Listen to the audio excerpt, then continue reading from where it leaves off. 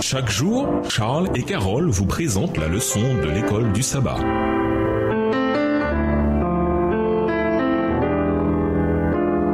Bienvenue dans votre émission. Dieu nous parle. Nous voilà à la leçon de jeudi, un avant-goût de la nouvelle création. Comparons Exode 20 les versets 8 à 11, Deutéronome 5 les versets 12 à 15 et Hébreux 4 les versets 8 à 11. Quelle différence voyez-vous au sujet de la signification du repos de sabbat? Exode 20, versets 8 à 11. Souviens-toi du jour du repos pour le sanctifier. Tu travailleras six jours et tu feras tout ton ouvrage. Mais le septième jour est le jour du repos de l'Éternel, ton Dieu. Tu ne feras aucun ouvrage, ni toi, ni ton fils, ni ta fille, ni ton serviteur, ni ta servante, ni ton bétail, ni l'étranger qui est dans tes portes. Car en six jours l'Éternel a fait les cieux, la terre et la mer, et tout ce qui y est contenu. Et il s'est reposé le septième jour. C'est pourquoi l'Éternel a béni le jour du repos et l'a sanctifié. Deutéronome 5 les versets 12 à 15. Observe le jour du repos pour le sanctifier comme l'Éternel ton Dieu te l'a ordonné. Tu travailleras six jours et tu feras tout ton ouvrage. Mais le septième jour est le jour du repos de l'Éternel ton Dieu. Tu ne feras aucun ouvrage, ni toi, ni ton fils, ni ta fille, ni ton serviteur, ni ta servante, ni ton bœuf, ni ton âne, ni aucune de tes bêtes, ni l'étranger qui est dans tes portes, afin que ton serviteur et ta servante se reposent comme toi. Hébreux 4, versets 8 à 11. Car si Josué leur eût donné le repos, il ne parlerait pas après cela de notre jour. Il y a donc un repos de sabbat réservé au peuple de Dieu, car celui qui entre dans le repos de Dieu se repose de ses œuvres comme Dieu s'est reposé des siennes. Efforçons-nous donc d'entrer dans ce repos afin que personne ne tombe en donnant le même exemple de désobéissance. Comme nous l'avons déjà vu, ces textes d'Exode et de Deutéronome nous invitent à regarder vers le passé. Ils nous exhortent à nous reposer le sabbat afin de célébrer ce que Dieu a réalisé lors de la création et lors de la rédemption. Cependant, Hébreux 4, les versets 9 à 11 nous invitent à tourner nos regards vers l'avenir. Le passage nous dit que Dieu a préparé un repos de sabbat qui se trouve dans le futur. Il indique une nouvelle dimension dans l'observation du sabbat. Non seulement le repos du sabbat commémore les victoires de Dieu par le passé, mais il célèbre aussi les promesses de Dieu pour l'avenir. La dimension future de l'observation du sabbat a toujours été présente, mais elle a souvent été négligée. Après la chute, elle en est venue à signifier que Dieu redonnerait un jour à la création sa gloire originelle à travers le Messie. Dieu nous a ordonné de célébrer ses actes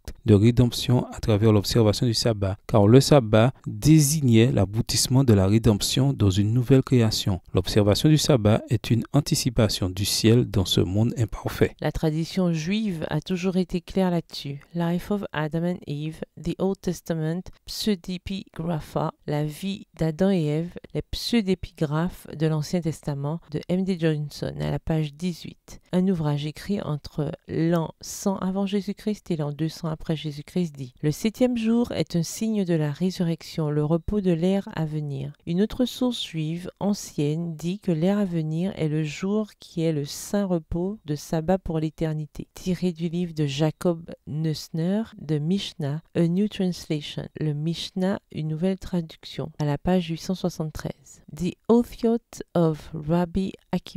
le Othiot du Rabbi Akiba, une source plus récente dit Israël a dit devant le Saint Béni soit-il, Maître du monde, si nous observons les commandements, quelle récompense aurons-nous? Il leur répondit Le monde à venir. Ils lui dirent Montre-nous à quoi il ressemble. Il leur montra le sabbat. Texte tiré du livre The Sabbath Anticipation of Redemption, le sabbat anticipation de la rédemption, et Judaism A Quarterly Journal, aux pages 443 et 444, écrit par Theodore Friedman. Le sabbat est un jour de célébration, de joie et d'action de grâce. Quand nous observons le sabbat, nous indiquons que nous croyons aux promesses de Dieu, que nous acceptons le don de sa grâce. Le sabbat est la foi vivante. En ce qui concerne nos actes, l'observation du sabbat est probablement l'expression la plus complète de notre conviction selon laquelle nous sommes sauvés par la grâce par le moyen de la foi en lui. Comment apprendre à observer le sabbat d'une manière qui montre vraiment notre compréhension de ce qu'est le salut par la foi, en dehors des œuvres de la loi? En quoi le fait de se reposer le jour du sabbat est-il une expression du salut par la grâce? Au revoir. Et à demain si Dieu veut.